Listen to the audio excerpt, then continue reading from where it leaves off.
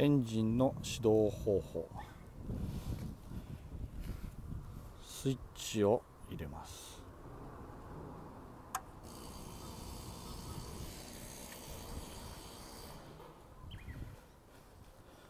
クラッチが切れてることを確認。開いて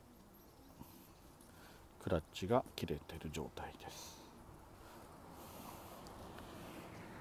念のためニュートラルの確認。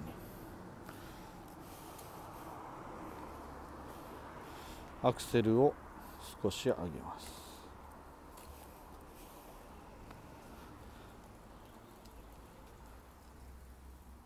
チョークを引いて閉じます。リコイルを引いてエンジンスタート。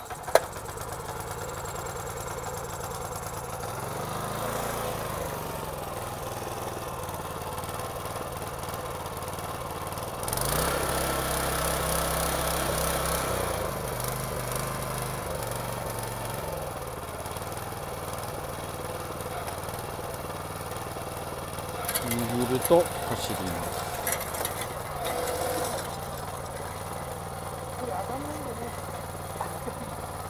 重くて上がらないので走行でテスト。